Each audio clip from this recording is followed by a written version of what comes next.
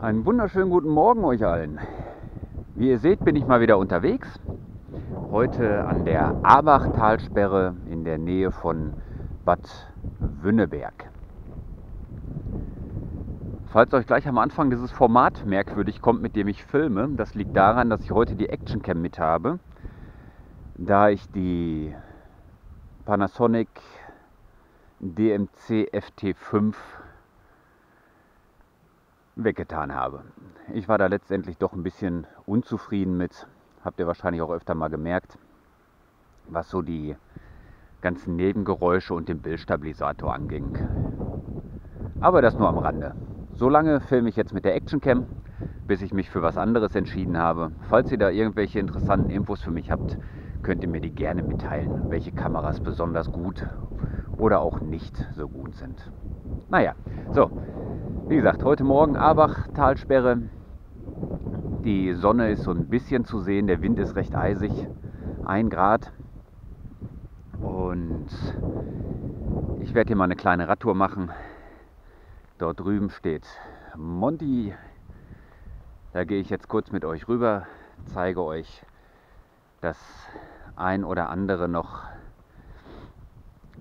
was hier so steht die Informationen zu den Talsperren.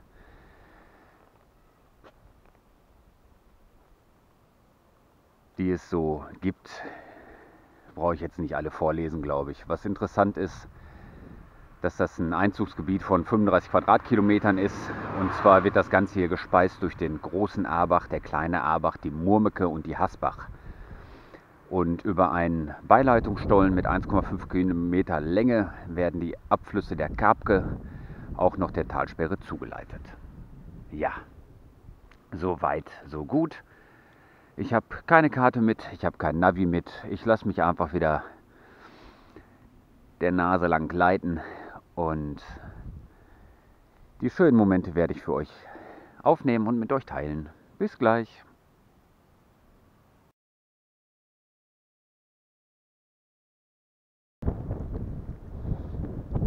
Was ich jetzt schon feststellen muss auf den ersten Metern, der Wind ist heute doch recht eisig. Also gefühlt haben wir definitiv unter 0 Grad. Man hört es vielleicht auch ein bisschen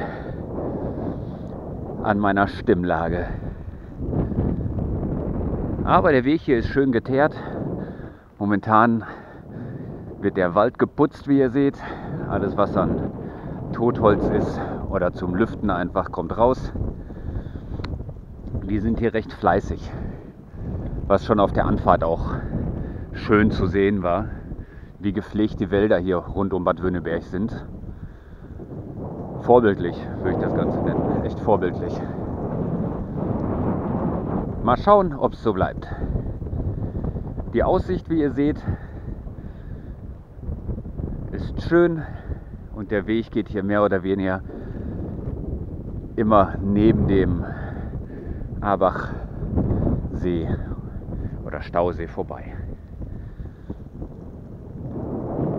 Und das riecht wieder so gut mit den frisch geschlagenen Fichten hier.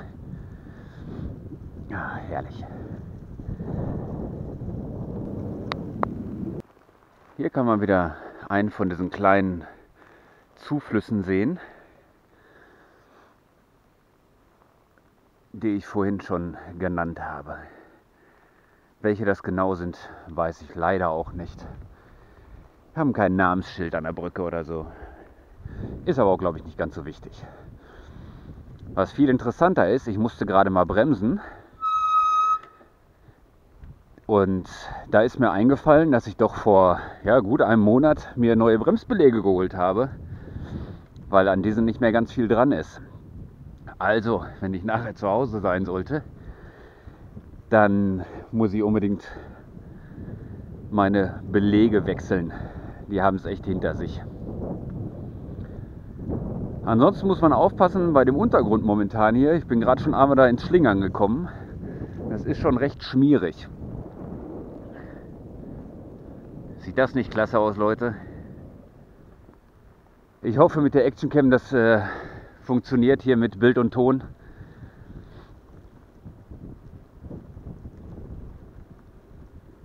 Aber bei mir ist es nun mal so, ich bearbeite Ton und Bild eigentlich nie nach groß, sondern schneide das nur so zusammen, wie ich meine, dass es schön ist. Und da sollte es eigentlich auch bei bleiben.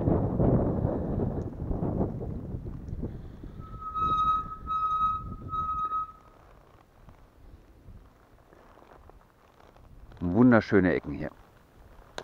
Da gehe ich doch mit euch mal kurz in die Richtung, so ein kleines Stück. Ich will hier nicht zu viel durchgehen, hier wächst schon überall neue Pflanzen. Deswegen.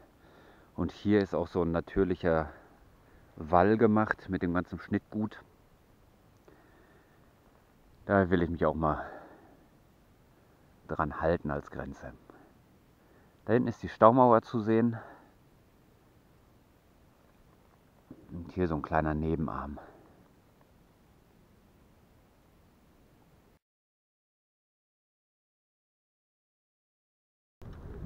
Das ist echt wunderschön hier. Nach jeder kleinen Kurve möchte ich am liebsten die Kamera wieder nehmen und euch die einzelnen Rinnsäle oder Rinnsale zeigen, die hier aus den Wäldern rundum kommen und dann, so wie hier zum Beispiel, runterlaufen in den Stausee. Da fliegt gerade ein Fischreiher weg. Ah, das ist so schön. Habe ich wahrscheinlich heute Morgen schon gesagt, ne? Aber ich bin halt schnell zu begeistern. Und das ist in dieser Umgebung ja auch nicht schlimm.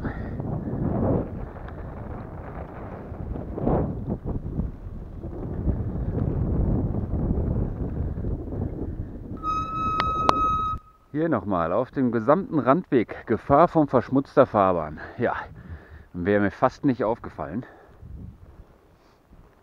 Hier geht es auch schön runter. Hier nochmal so ein paar Hinweisschilder. Bad Wünneberg 5,7, von da komme ich gerade. Richtung Bleiwäsche geht hier der Radweg. Also hier kreuzen sich mehrere. Dieser Auenradweg, Paderborner Landroute. Echt eine tolle Gegend. Und ich fahre jetzt hier diesen Rundweg Asbach, äh, Abach-Talsperre weiter. Was noch vielleicht gesagt werden sollte, das Ganze ist ja hier zur Trinkwassergewinnung und Naturschutzgebiet. Deswegen darf man hier weder Hunde unangeleint noch angeln, schwimmen, baden, reiten oder sonst was machen. Ist wirklich nur zum Spazierengehen und Radfahren. Und das mache ich jetzt. Auch hier wieder so ein schöner kleiner Zufluss. Aber richtig schön ist die andere Seite.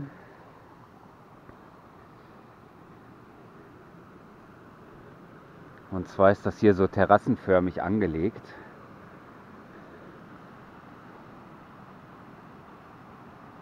Und fließt dann runter Richtung Talsperre oder Richtung Stausee.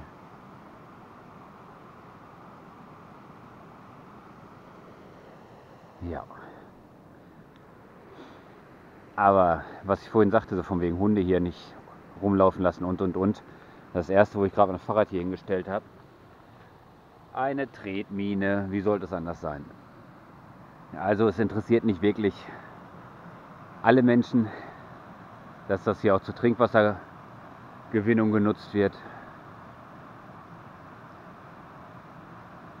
Aber das ist leider so.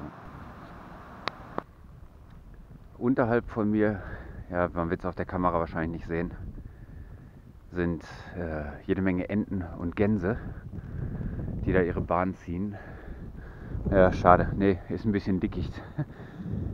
Hier haben sie noch nicht ausgedünnt, deswegen sieht man das jetzt nicht. Naja, lasst euch gesagt sein, da waren viele Enten und Gänse. Ja, hier nochmal vielleicht zu sehen. Nee, sind weiter links gewesen. Naja, ich habe es versucht.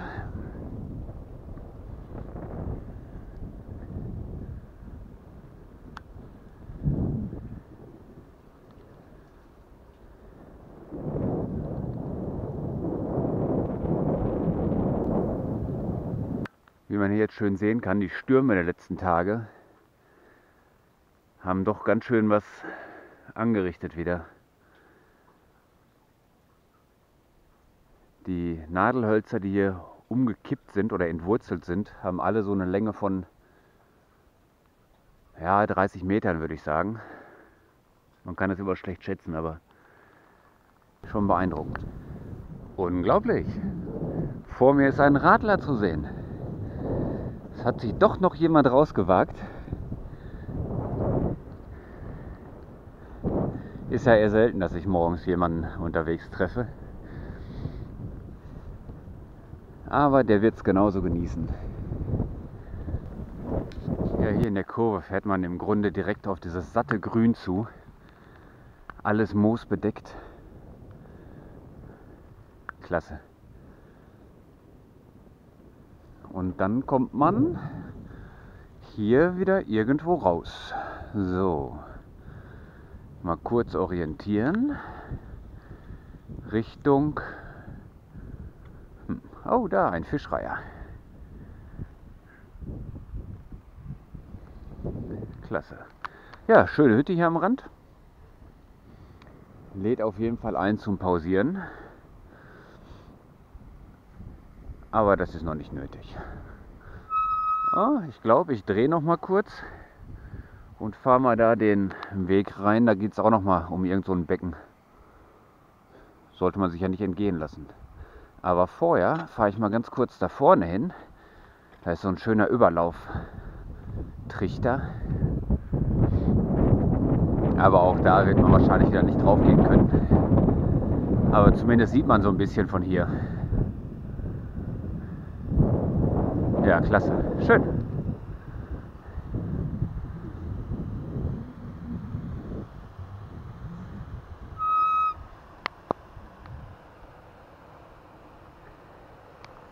Jetzt probiere ich gerade mal was aus, ob man mit diesem Ding hier vielleicht auch zoomen kann. Wenn ich hier irgendwie drücke. Ne, da tut sich nichts. Ja, war ein Versuch wert. Gut, gut.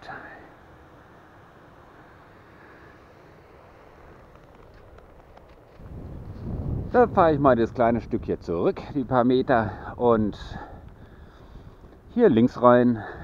Ist immer das Schönste, wenn man sich vorher nicht groß informiert hat und sich einfach treiben lässt, hat das noch mehr Erholungswert, finde ich. Man hat keine Ansprüche irgendwie, zu große Erwartungen. Einfach rollen und genießen. Wie man deutlich am Untergrund erkennen kann, bin ich jetzt definitiv weg von dem klassischen Radwegesystem hier und wieder auf ja, Forstwegen unterwegs. Hier wird gerade aufgeforstet.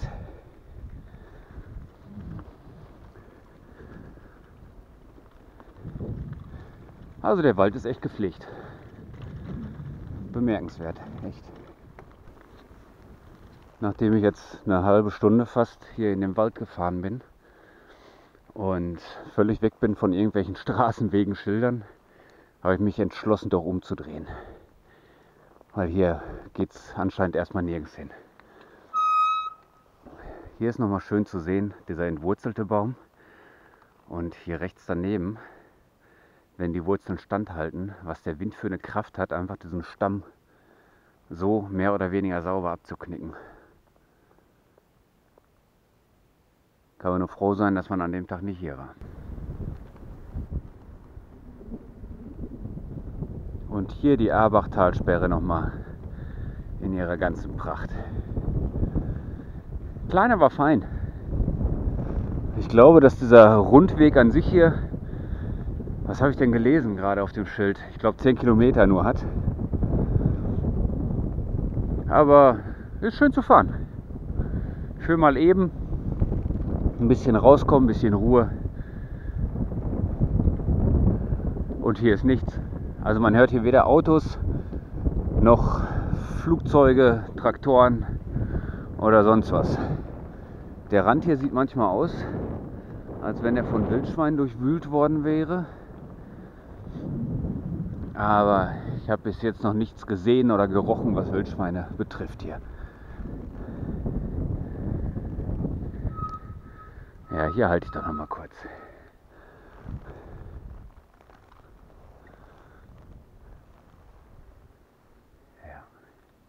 Ach, hier gibt es sogar so ein, ein Pausenplätzchen. Dann nehme ich das doch mal kurz in Anspruch.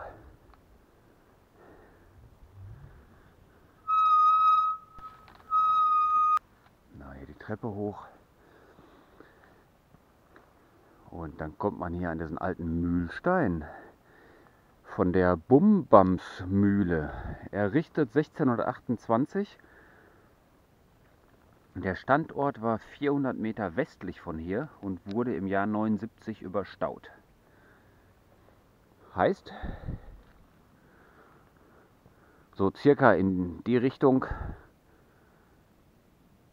auf Höhe des anderen Ufers stand mal eine Mühle.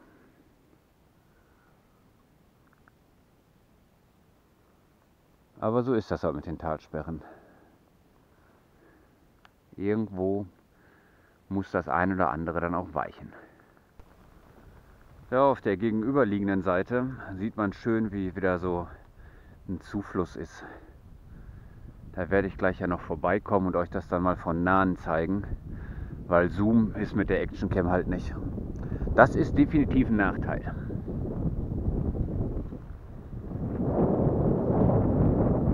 Aber ansonsten bin ich auch damit zufrieden. Ja, wenn man mal am Wegesrand rechts links die Augen aufhält, kommen auch so kleine Teichanlagen. Und da ist so ein schönes kleines Hexenhäuschen bei. Allein hier dieser Eingang ist ja schon schön. Mit diesem bewachsenen kleinen Dächlein. Natürlich betreten verboten, ist klar weil sonst wahrscheinlich wieder genug Idioten nur Mist machen würden. Aber so im Vorbeifahren, ich muss zwar gleich wieder zurückfahren, aber das ist es definitiv wert, ist das doch auch schon sehr schön. So leicht verrotteten Charme. Shabby schick sagt man heute, oder? Wenn altes, verrottetes trotzdem noch ganz gut aussieht. Shabby schick, glaube ich. sind überall hier so kleine Buchten, die freigeschnitten sind, dass man auch schön auf den See schauen kann. Ein paar Bänke, eine Hütte bis jetzt. Ach, und hier ist jetzt der Zulauf. Ja, da gehen wir doch eben runter. Hier ist schon so ein kleiner Trampelpfad, den nutze ich dann auch mal, um nicht noch mehr zu zertreten, als rundum schon ist. Recht schmierig, aber passt schon. Da wir es ja noch frisch haben, ziehe ich ja auch immer die guten festen Wanderschuhe an. Da kann man auch auf solchen Wegen mal eben geschmeidig durchgehen. Ja, das wird einer von diesen Zuflüssen sein, die unterirdisch zugeleitet werden. Von der Krabke hieß es, glaube ich, das Bächlein. Und so sieht das Ganze dann aus. Oh, die Tür ist aufgebrochen. Ja, auch nicht gut. Naja. Und hier fließt es runter. Schön gemacht mit diesem Natursteinbett. Macht das Ganze ein bisschen attraktiver. Das Wasser wird nochmal mit Sauerstoff angereichert.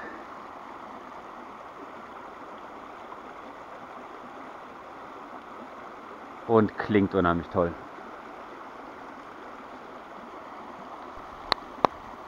Ich hoffe, man kann es erkennen. Die Sonne ist da. Wenn auch nur schwach. Aber sie ist da. Wird Zeit, dass ich gleich wieder aus dem Wald rauskomme. Um auch ein bisschen von der Sonne zu genießen. Aber, wie ihr über mir seht, der ganze Himmel ist mittlerweile blau. Da in der Ferne ziehen die Wolken gerade weg, die bis gerade die Sonne verdeckt hatten. Deswegen wird noch schön. Hier ist auch schon die nächste kleine Hütte zu sehen. Und die sind auch alle in gutem Zustand. Auf der anderen Seite wieder ein Zufluss. Ich hoffe, ich schwenke nicht zu schnell mit der Kamera, dass die Bilder überhaupt hinterherkommen. Nicht, dass das nachher wieder so eine verpixelte Aufnahme wird. Oh, wo lang? Wo lang? Geht beides. Ah, nehmen wir den hier. Ist näher am Wasser. Ja, hier ist jetzt die gegenüberliegende Seite von der Talsperre. Wie ihr seht, sieht man nicht viel. Es geht ins Tal herunter, das ist klar. Da unten wird das Wasser langsam rausgelaufen oder rauslaufen gelassen, was halt so rauslaufen muss wahrscheinlich. Aber ich nehme euch jetzt nochmal mit zur anderen Seite, damit ihr hier die schöne Seite auch nochmal seht, die ja nun wirklich wesentlich schöner ist als die Rückseite des Damms. Der Wind ist jetzt recht kräftig, Fahrrad muss ich anlehnen, mit Ständer alleine funktioniert hier nichts mehr. Ich hoffe, diese kurze, knackige Tour hat euch gefallen. Und